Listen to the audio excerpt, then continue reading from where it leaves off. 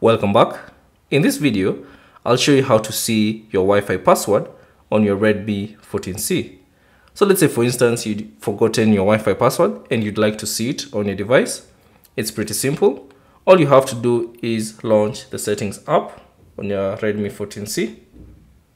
And then within the settings, scroll down and select Wi-Fi, tap on it, and then ensure that you're connected to that particular Wi-Fi network so that you can see the password. So since I'm connected to this Wi-Fi and I don't know what the password is, all you have to do is tap on that Wi-Fi network. And then from this option that appear, you should see the password appear just beneath the share Wi-Fi network option. So you can now see your password for that particular Wi-Fi network. So that's basically it on how to see the Wi-Fi network password on your Redmi 14C. Thanks for watching. If you have any questions, leave them down in the comment section below. And if you found this video useful, consider leaving a like and subscribe to the channel.